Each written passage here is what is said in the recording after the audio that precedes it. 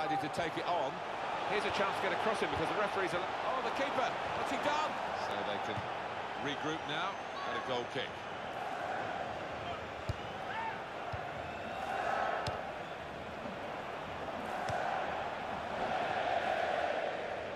And now a throw-in.